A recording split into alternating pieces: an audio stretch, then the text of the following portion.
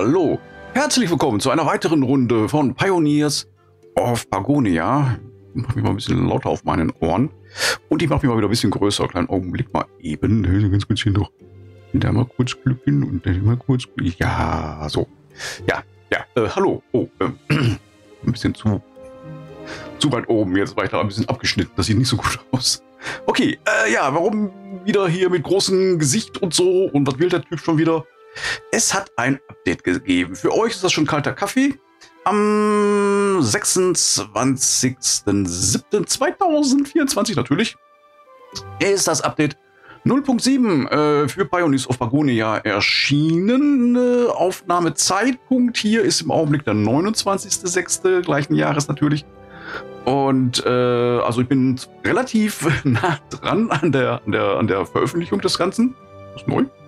Ähm, und äh, aber halt durch die Vorproduktion hinge ich natürlich jetzt in Wahrheit an drei Wochen hinterher. Also für euch, wie gesagt, kalter Kaffee, für mich komplett neu. Hier unten sieht man es, ja, 0.7.0 und dann halt hier äh, irgendwie gegrüsselt.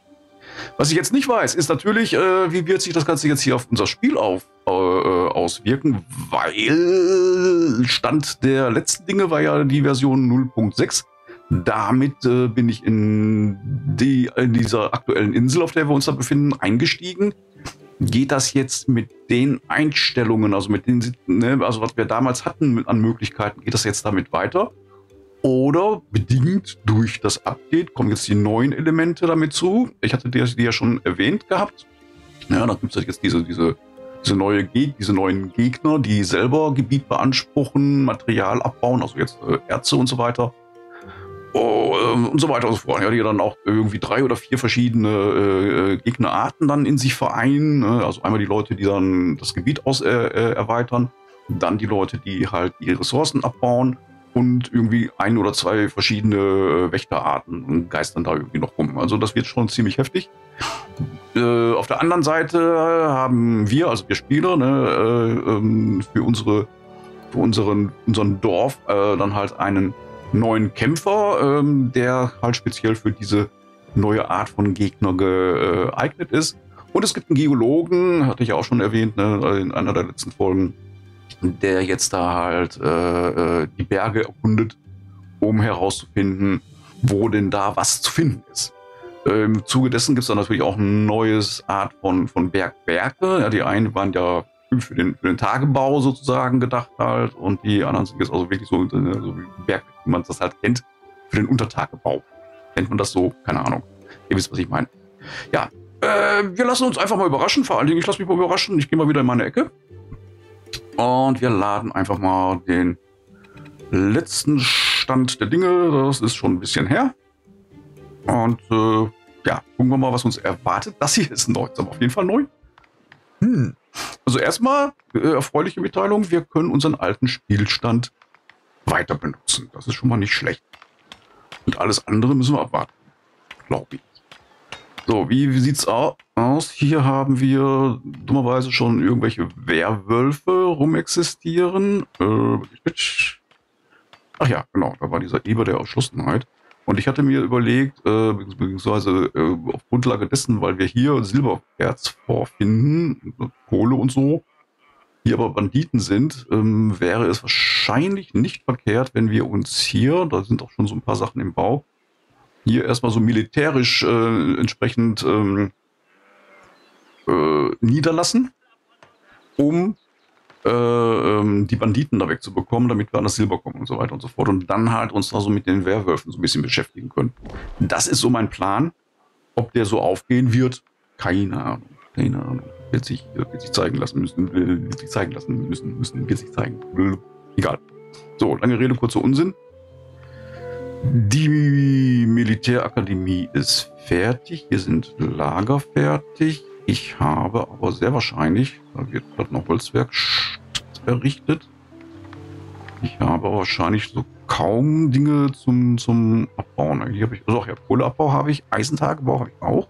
Ach ja, da war so ein kleiner Pinorik Eisen. Kupfer wird auch abgebaut. Das ist schon die Frage, die sich mir in der Situation stellt. Habe ich hier keinen Wachturm? Ach, der ist da. Und den hatte, hatte ich den pausiert oder wie war das?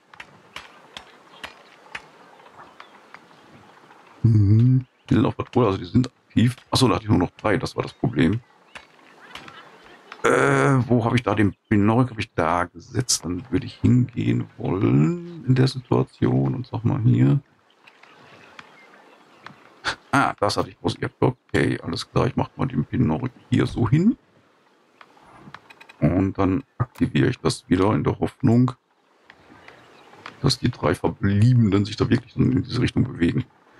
Äh, Wachturm. Das heißt, ich brauche Gildefaust. Nein. Ich brauche eine Abenteuergilde. Habe ich eine solche schon? Ausrüstung, Holzwerkstatt, Inskirchen, Waffenschmiede.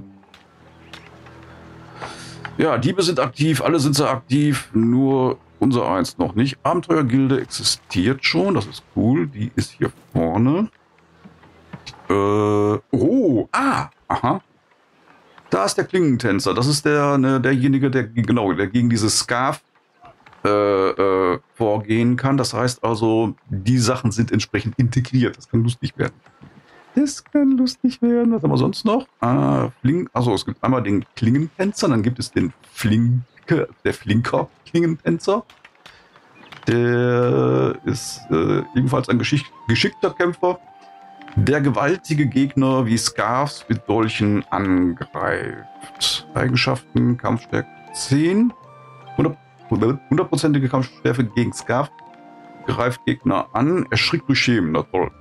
Der braucht Stahldolche, das heißt, wir brauchen Stahl. Äh, wir brauchen verstärkte Rüstung und Stahldolche. Stahldolche brauchen die, glaube ich. Oh, der kommt mit Eisendolchen aus. Okay. Okay, okay. Kampfstärke 5 hat der natürlich dann nur leichte Rüstung. Dann stahlverstärkte Rüstung und ebenfalls Stahldolche. Das ist dann der Meisterklingentänzer.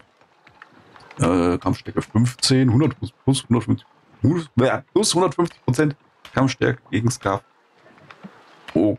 Okay, ja, das wird, das wird natürlich noch äh, herausfordernd werden, da kann man ausgehen.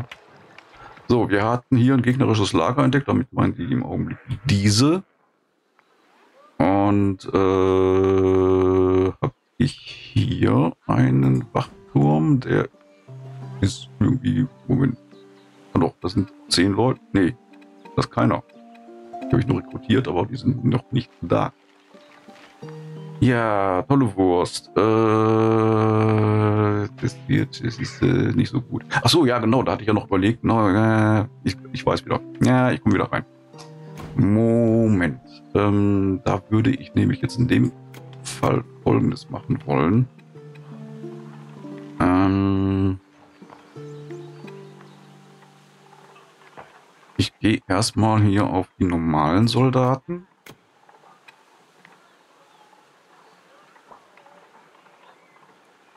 Diese. Äh, vielleicht. Ein Moment, ein Moment. Expansion. Ja, da hatte ich ja schon überlegt, mache ich eine Garnison, aber die sind, die sind ziemlich teuer. Ja, die brauchen Grenzsteine und Werk, äh, nee, wir brauchen Werksteine zum Bauen halt und, und, äh, gut, Grenzsteine brauchen alle, ne, für die, für die Gebietserweiterung. Aber hier sind es halt Werksteine, 16 und hier sind nur 6 Steine.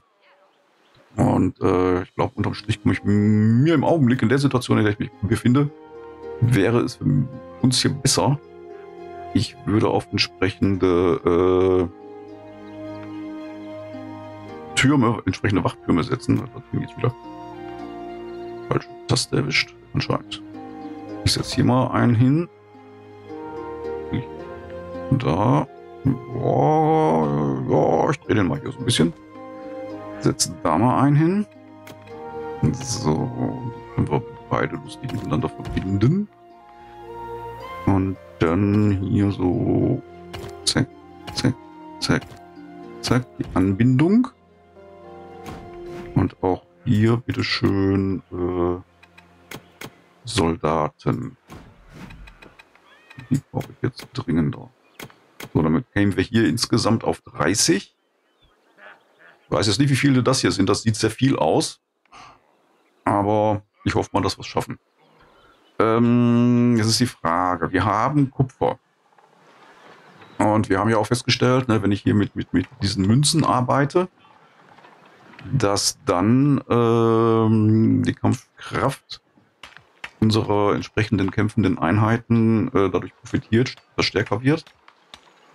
Das sollte ich auf jeden Fall wieder so machen. Ähm, ein Augenblick. Die, äh, muss ich wieder orientieren hier die ganze Zeit. So, da wollte ich hin. Haben wir in irgendeiner Form Holzsperre? Natürlich nicht. Ist schlecht. Ich habe hier eine Holzwerkstatt.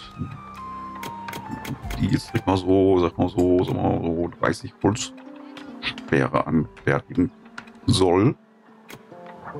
Wir brauchen aber auch hier diese Zahnräder früher oder später. Führt nun mal leider kein Weg dran vorbei und wir werden auch Holzschilder benötigen. Das heißt, äh, hier wird jetzt erstmal eifrig gewerkelt. Dann brauche ich wenigstens 20 von den Leuten. Ich sehe schon gerade einer Holzschilder. Da bin ich ein bisschen zu optimistisch gewesen von der Anzahl. Ich gehe da mal auf 40. So. Äh, ja. Das einmal in dieser Richtung. Dann wir haben eine Schmelzhütte, die schon ganz einfach dabei ist, Eisenbaren herzustellen. Äh, Nickel. So, ja genau, wir müssen Nickel irgendwann mal abbauen und wir können Geld oder Goldbarren auch ebenfalls hier jetzt abbauen, sobald wir irgendwie Gold haben. Das ist auch neu, dass es jetzt neben Nickel auch Gold gibt. Und ich gehe mal davon aus, dass Eisen und Nickel zusammen Stahl ergibt. Auch das wird uns ganz auf ganz neue Wege führen. Wir müssen unsere Nahrungsversorgung voranbringen. Das heißt, wir brauchen auf jeden Fall, jetzt findest du wieder nicht, eine Taverne. Jetzt die Frage ist, wo setze ich die denn jetzt hin? Hier so? Hm. Mach ich einfach mal. Ja, das ist äh, irgendwie muss ich ja hier vorankommen. Wir, was brauchen wir für eine Taverne? Wir brauchen Nadelhölzer und wir brauchen Werkstein. Okay. Wir brauchen für eine Taverne natürlich auch die entsprechenden Esstische. Die jetzt hier noch irgendwie unterzubringen, ist gar nicht mal so einfach. Äh, was war das immer so als Mindestzahl? 15 oder wie ich da jetzt auf dem falschen Weg? Wird das Dorf noch angezeigt? Da mal irgendwie nichts. Wachtürme, Wachtürme, Baustellencamp äh, müssen wir auch noch machen. Weberei ist im Bau. Sammelhütte haben wir noch keine. Getreidefarm haben wir. Brunnen haben wir drei Stück. Wohnhäuser sollten wir auch noch bauen, sehe ich gerade. Oh ja, ganz wichtig. Äh, ja gut, dann würde ich erstmal auch mit den Wohnhäusern da vielleicht noch mal weitermachen. Hm, zu ist im Augenblick alles ein bisschen holter die Polter. Aber die Situation ist ein bisschen verzweifelt. Muss man so auszudrücken. Da kriege ich ein Wohnhaus und der erst einmal, da kriege ich ein Wohnhaus und der das, das würde ich ein bisschen anders machen. Das würde ich ganz gerne hier hinsetzen. So, erstmal die, die, die ersten drei. Das andere später. Hier habe ich noch Holzfällerhütte rum existieren. Die ich vielleicht an einer anderen Stelle unterbringen sollte. Warte mal. Ähm ich deaktiviere die mal. Die soll dann auf kurz oder lang weg. Holzwerkstatt, Holzfällerhütte, Holzfällerhütte, das ist in Ordnung. Hier haben wir ein Forsthaus, okay, okay. Jagdhütte, äh, Steinmetz. Mit mal. Sägewerk. Wo ist denn da das Sägewerk? Achso, das habe ich. Ach, existiert hier. Ja, warte, warte, warte, warte, warte. Ein Sägewerk soll es sein. Wo setzen wir hier noch ein Sägewerk hin? So. Bauaufträge, jede Menge. Aber es ist halt wie es ist. Jo. Äh, ja, mit den, mit den, mit den, mit den äh, Tischen, da warte ich erstmal noch. Ach, die Beheberei kommt nicht voran, weil wir dringend äh, Zahnräder dafür benötigen und da habe ich im Augenblick noch keine, die sind aber im Bau. So. Achso, ja, das ist eigentlich egal. Äh, äh, ja. Okay, okay. Und da werden gerade die Wachtürme hochgezogen, beziehungsweise einer ist schon fertig. Und wir benötigen Schilde und Bronze-Schwerter und dergleichen. Für den Anfang. Und wie gesagt, bin mir jetzt noch nicht so ganz sicher, wie ich hier verfahre mit der Schatzkammer. Äh, einen Augenblick. Kunstschmiede, Rüstungsschmiede brauchen wir auch noch. Wir brauchen alles. Holzwerkstatt, Werkzeugschmiede, wo ist denn, wo ist denn... Okay. Na da, Münzbiegerei. Kohle, Kupfer, Silber, Goldbarren. Ah ja, es gibt jetzt auch Goldmünzen. Okay, okay. Eine Münzprägerei.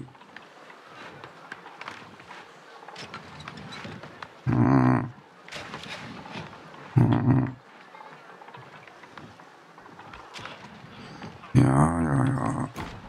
Also ein paar Sachen, da muss ich, müsste ich noch mit warten. bis ich entsprechend mehr Bauland hier habe. Ich will das nicht zu sehr hier alles hier in dem Bereich konzentrieren. Zumal ich dafür entsprechenden anderen, ne, also den Platz anderweitig noch benötige.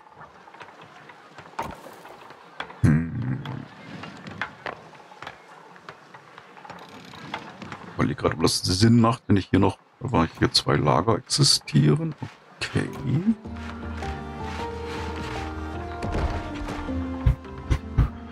Wenn ich da schon Lager stehen habe, kriege ich dann noch weitere Lager hin? Müsste eigentlich gehen. Zumindest ein Lager bekomme ich hier noch hin.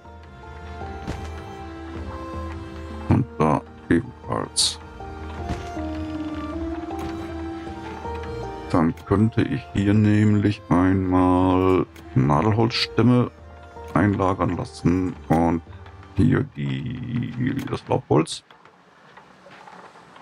In der Hoffnung, dass die das Teil hier entsprechend leer räumen.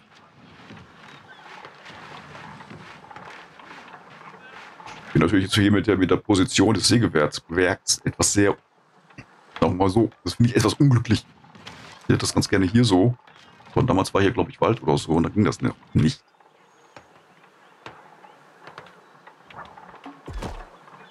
Tja, gegnerisches Lager wurde ent... Achso, was waren die? Okay, okay, okay.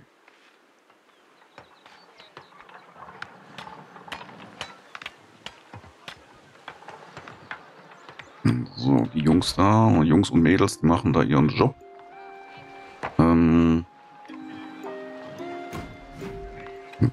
Schön, dass ihr da äh, ran seid. Ähm, kümmert euch mal hier um so ein bisschen in, um diesen Bereich. Das würde ich sehr begrüßen, wenn ihr das machen würdet. Äh, die, die Holzfällerhütte ist wie gesagt außer Betrieb. Ich brauche aber noch eine. Da würde ich ganz gerne, wenn das geht, die hier irgendwie unterbringen. Das Problem ist wieder mal die Wege. Insofern geht das leider nicht. Hm. Dann setze ich die kurz entschlossen da ein. Und äh, die sollen sich dann hier so um die Bäume kümmern. Gut. Gut, gut, gut. Die Taverne, ja, da geht natürlich im Augenblick noch gar nichts. Ich habe noch keine, noch keinen Markt und nicht und nichts in der Richtung. Äh, Esstische Bier. Ah, sehr gut. Vier Esstische wollen sie haben. Zumindest im Moment kann natürlich sein, dass es später noch mehr werden. Aber vier Esstische sollte ich hinbekommen. Hm. Dann wir uns näher ran.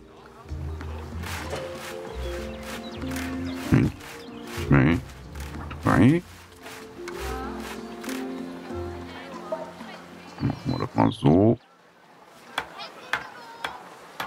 Moment. Ich sehe nämlich nichts.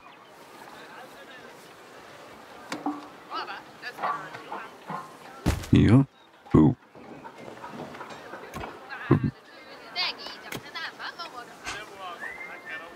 Ja.